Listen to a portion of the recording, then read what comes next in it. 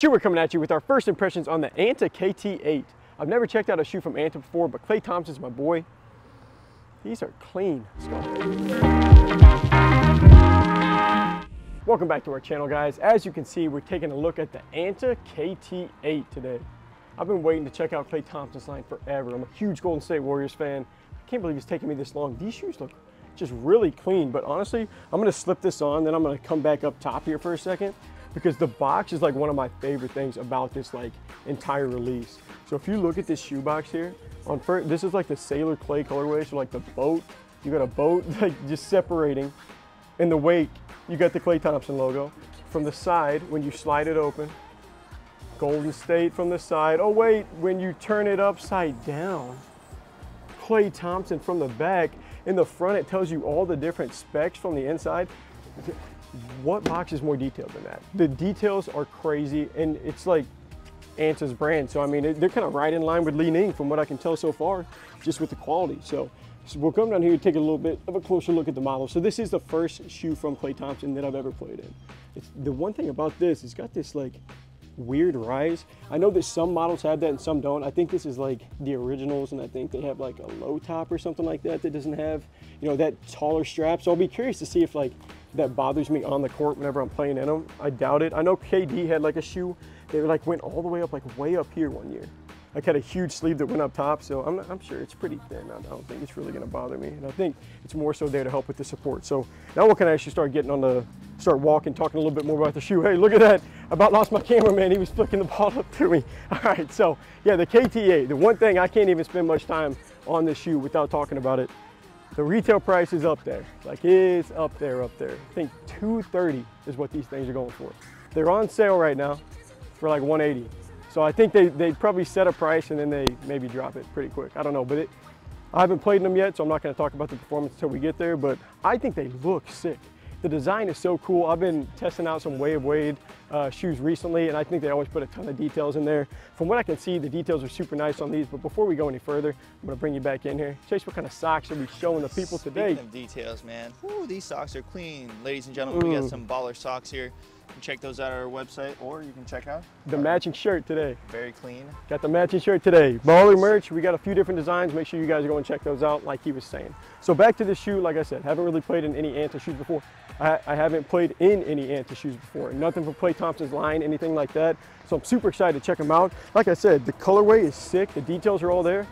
See how they play. All right, so now getting on the court, kind of putting some shots up, seeing how these feel from more the performance side. Before we do that, as always, bring you down here. What are we thinking about the Anta KT8? What do you think, Chase? It's a clean colorway. It's, I love the anchor. I mean, it's got a lot of details on this. The Sailor Klay colorway, tons of details. Look at this one right there. That gold-blooded. Oh yeah, celebrated every second of that hey, championship. I mean, you're paying for the details for sure. Oh, you're paying for the details for sure. Okay, so the 230. The 230 is tough to leave out, but we'll go. We'll, we'll, try and just look at it, you know, just from like how they feel for performance. So the 230, the first thing I guess we actually won't leave it out. We'll go straight to it. I, I feel like sick to my stomach playing in $230 shoes outdoors. All right, I don't love to do this. What's okay? They're on sale for 180. They are on sale for 180 and that's that's what we paid for them. So really it's a $230 pair of shoes, but we only paid 180. But uh, yeah, the details are, are sick, but now we'll talk about the performance. So like, as far as the cushion goes, I know that, you know, most, most of the time I've been reviewing like, you know, Adidas, Nike, uh, just different stuff like that that have a lot of similar cushioning and tech specs.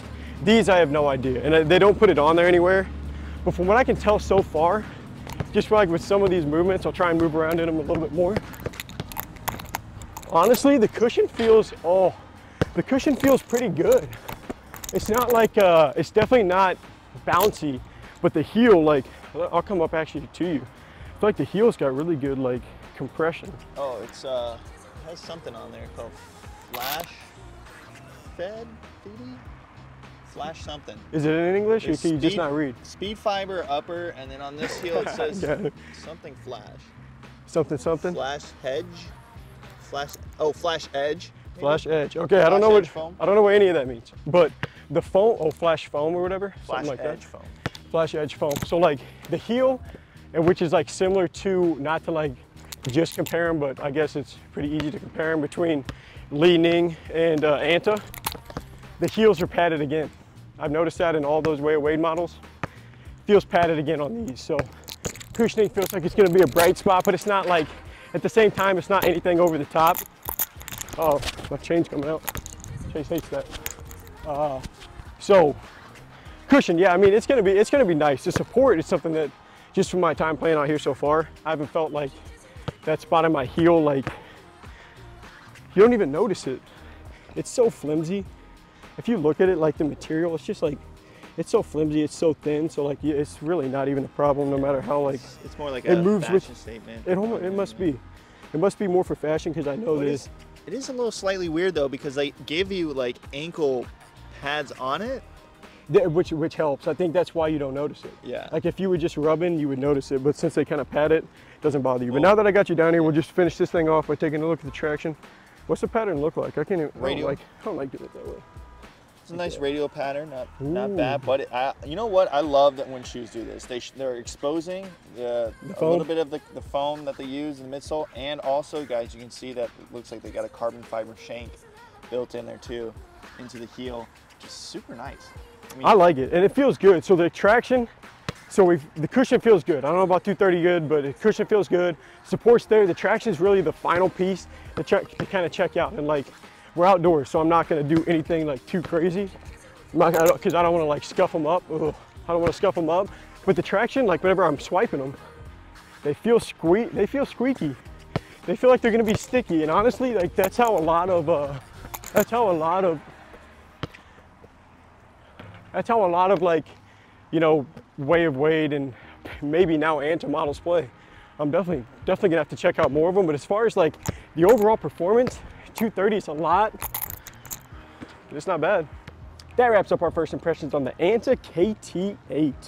First time playing in Klay shoes. Honestly, this eight right here, we didn't mention it before, but we were talking, we were like, this has to be some type of significance. Did Klay ever wear the number eight? And then we started to do this video. I was like, first impressions on the KT8. And then I was, that's probably what that means. But like, that just goes to show all the details on this model. Like, that's gotta be something that helps it get that $230 retail price. This is an expensive pair of shoes. Factor in the box too. The box is sick with the Golden State Warriors bridge and the jersey, all the different stuff like that. It's tough to factor in the shoe box, but at this point, 230, you got to do it. But the model itself, honestly, I can't pick anything at it. Of course, we're outdoors, so I'll take it inside and we'll get like a better idea on how the track. Oh, that's squeaky. We'll get a better idea on how the traction is going to play. Hopefully, that's a good sign. But I mean, the cushion feels good outside. The support, no issues there. Breathable model too. So I don't know if you should use them outdoors, but if you get them on sale, 170, whew, maybe not bad at that price. so shit. So, So Landon. There it is. So Landon, so the, the, the heavyweights are now, it seems like you got the LeBron 20, you got the Wave Wave 10s, Mhm. and now you have the Anta KT8s. Out of those, around the $200 price range, where would you rank them out of the three? What's Oh, that's tough. So I mean, So right right now, if I got to go first impressions, I think I like the Way Away 10s a little bit more than this shoe. uh, Slightly more than this shoe. I'm gonna have to see how the cushion feels on indoor court. I obviously already know how the Way Away 10 plays indoors. As far as the LeBron 20, those are nice. I think it's more comfortable in the LeBron 20, but not nearly as supportive. Traction might be better on the LeBron 20. That's something else I can't tell. But they're in that they're in that range. They're in that category. So I don't think there's going to be anything like for me to just tear apart on the shoe. But make sure you come back and check that out. The full breakdown on an indoor court. That'll be in like one to two weeks as always. But that's going to wrap up our first impressions on the Anta KT8. What a time. Until next review. Peace.